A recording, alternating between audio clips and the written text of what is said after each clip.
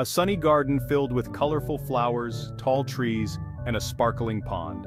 The peacock is perched on a stone near the pond, his vibrant feathers shimmering in the sunlight.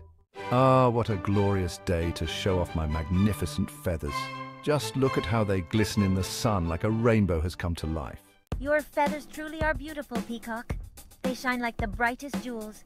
But tell me, do you ever get tired of carrying such a heavy tail around?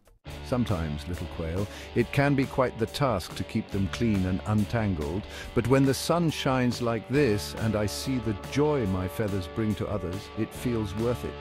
But what about you? You may not have colorful feathers, but you move so quickly and gracefully among the flowers.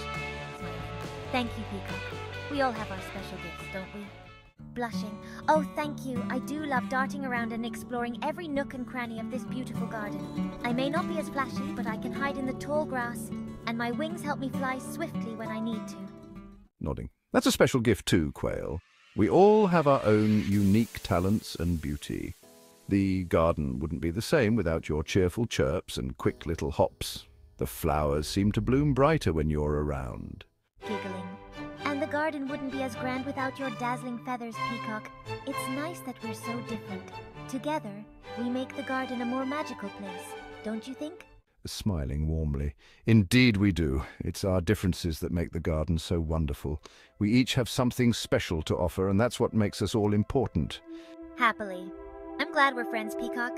Let's enjoy this sunny day together and celebrate the beauty of our garden. Spreading his feathers wide. Yes, my friend? Let's the sun is shining, the flowers are blooming, and the garden is alive with joy.